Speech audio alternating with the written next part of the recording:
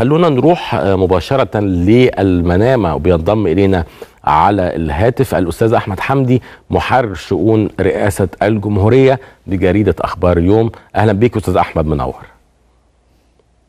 أهلا بحضرتك يا أستاذ حسام وتحياتي لحضرتك ولكل السادة المشاهدين في الوطن العربي. أهلا بيك. وهروح معاك طبعا الرئيس سافر ولديه ملفات مهمة وملحة للغاية. وكلمة السيد الرئيس كانت بتحمل رسائل مختلفة النهاردة لو ممكن تطلعنا على أبرز ما جاء من رسائل في كلمة سيادته أو من خلال اللقاءات أيضا اللي عقدها على هامش القمة آه خليني أقول لحضرتك يا أستاذ حسام إن القمة النهارده بتاعت يعني بتنعقد في وقت آه حرج جدا جدا جدا بتمر بيمر به الوطن العربي ومش فقط في القضية الفلسطينية فحسب ولكن طبعا. هناك عندك أزمات في معظم الدول العربية المختلفة ولكن القضية الأبرز آه وزي ما بيطلق عليها رئيس قضية القضايا القضية الفلسطينية كانت هي موجودة على معظم طاوله الأحاديث بين القاده اليوم. آه كلمة الرئيس عبد الفتاح السيسي فيما يتعلق في القضية الفلسطينية آه خلال مشاركته في القمة 33 في المنامة ارتكزت آه لجزء فيه تنبيه نبهت الناس سواء المجتمع العربي أو المجتمع الخارجي إن إحنا أصبحنا في لحظة فارقة جدا بيتطلب من كل الأطراف المعنية إننا نختار إما إن يكون في سلام واستقرار أو فوضى ودمار لأن الخاسر هيبقى الجميع خاسر وليس م. الفلسطينيين فحسب ولكن فكره دمار القضية الفلسطينية أو أو ترك القضية الفلسطينية لما هي عليه الآن وترك الأطفال الأبرياء يقتلون بمعدل كل ثانية بدون أي سمع لصوتهم أو للأزمة بتاعتهم ده ثمن باهظ هيدفعه العالم كله.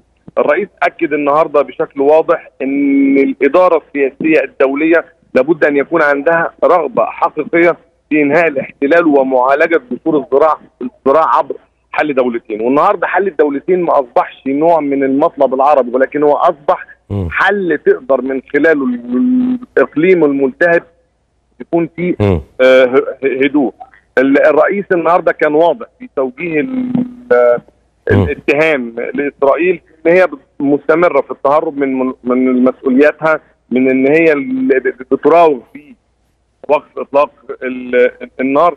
الرئيس أكد النهارده خلال كلمته على الموقف الثابت والراسخ لمصر فيما يتعلق بتصفيه القضية الفلسطينية أو تهجير آه الفلسطينيين ونزوحهم آه قسريا أكد الرئيس في نهاية كلمته النهارده على بادرة بأن هناك تمسك بأمل بأن يكون في إعمال لصوت العقل صوت العدل صوت الحق.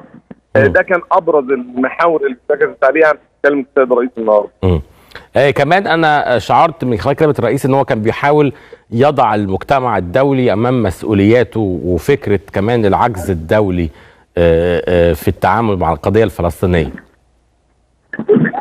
ده حقيقي وما كانش ده مقتصر فقط على مجرد الكلمة لكن النهارده اللقاءات وتحديدا اللقاء عرضه السيد الرئيس اللي عمله السيد الرئيس مع الرئيس الفلسطيني أكد وبشكل واضح ولا يدع مجال لأي شك أو مجاملات دبلوماسية دعم الدولة المصرية للقضية الفلسطينية. لقائه اليوم مع العاهل الأردني أكد على التوافق المصري الأردني على الوقف الفوري لإطلاق النار. آه معظم لقاءات الرئيس النهارده بس, بس ما كانتش مستقرة يعني متطرقة فقط على الجانب الفلسطيني. كان نعم. الرئيس النهارده لقاء مع الرئيس اليمني ومع الرئيس العراقي.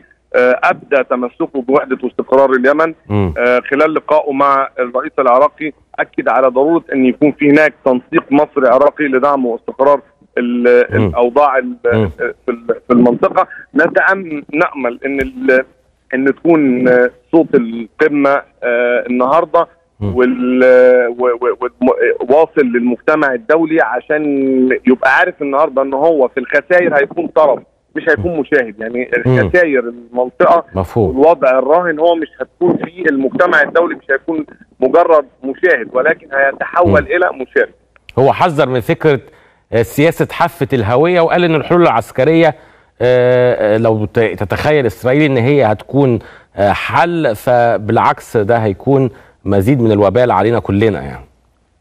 على المنطقة ده كلها. حقيقي نقطة جوهرية أشار لها الرئيس السيسي النهاردة في جزئية أن لن يكون حل الوضع الراهن باستمرار العمليات العسكرية من الجانب الإسرائيلي آه، تجاه ال- ال- الفلسطينيين. آه، استمرار مثل هذا الأمر لن. يؤدي إلى استقرار. حتى للإسرائيل أو لل- للقضية في حد ذاتها ولكن هو الحل السياسي اللي بيرتكز في الأساس على وجود حل دولتين إسرائيل إلى جانب آه، فلسطين. م. آه، حل بيرتكز على ضرورة وقف إطلاق النار. حل بيرتكز على فكرة ضرورة ضمان إدخال المساعدات للفلسطينيين آه، ومنع المأساة اللي بتحصل مش هنقول بشكل يومي وإنما بشكل لحظي. أنا بشكرك طبعا شكرا جزيلا. الأستاذ أحمد حمدي محرر شؤون رئاسة الجمهورية بجريدة أخبار اليوم. شكرا جزيلا.